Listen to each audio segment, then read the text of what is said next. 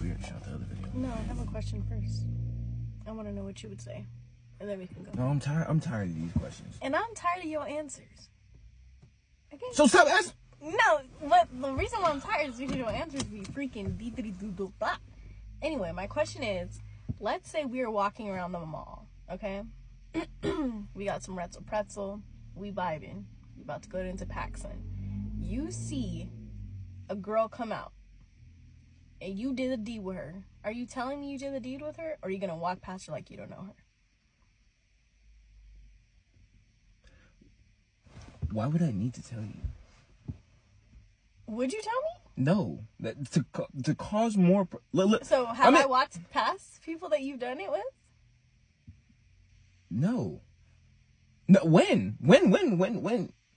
Besides the time that you saw my ex at Target. But you see what you see what I'm saying? You see how your